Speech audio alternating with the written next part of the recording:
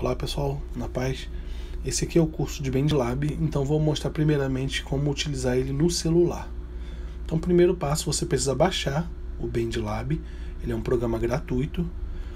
E depois que você baixar, você acessa a sua conta no BandLab. Se você não tiver uma conta no BandLab, você pode criar uma conta através do seu Gmail, através do seu Facebook, através do seu número de telefone, uma conta Apple ou até mesmo é, algum outro e-mail qualquer que você utilize.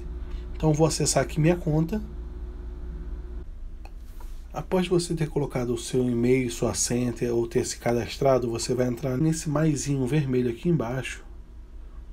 Você começa a, a trabalhar um novo projeto. Eu vou colocar aqui Voice Mic. Vou começar por aqui. Abrir aqui uma track para voz e se eu clicar nessa setinha aqui ao lado, eu consigo fechar a visualização dela.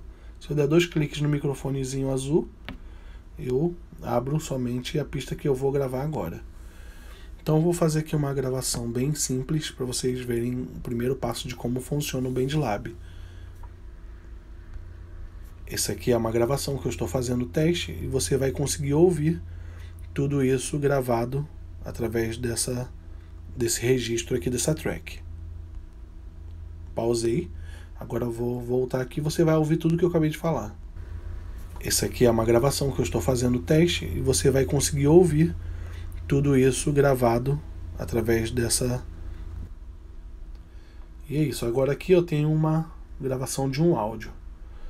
Se eu quiser usar isso aqui, eu posso usar.